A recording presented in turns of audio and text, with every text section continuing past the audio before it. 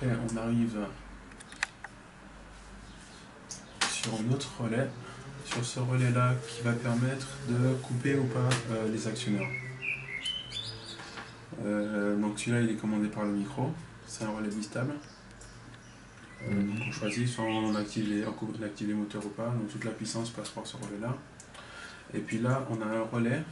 Donc quand on va sortir quand on va sortir de là, on a aussi un connecteur qui est quelque part. Celui-là, il faut que je le trouve. Ce connecteur-là. Celui-là.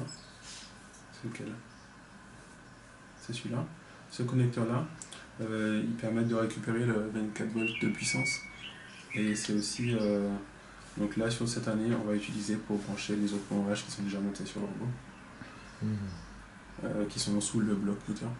Enfin, à côté du bloc moteur. Ensuite, euh, quand on est arrivé euh, ici, tous ces signaux.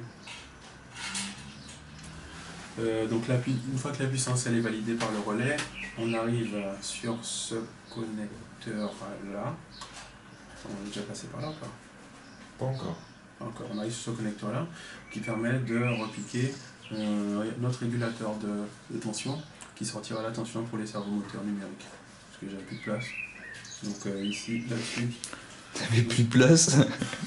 Sur BFR, sur BFR bah, t'as la, t'as la masse et le 7,4 volts. Mais Mais euh, sauf que nous, on va alimenter les serveurs en 9 volts. Ouais. je te garantis que c'est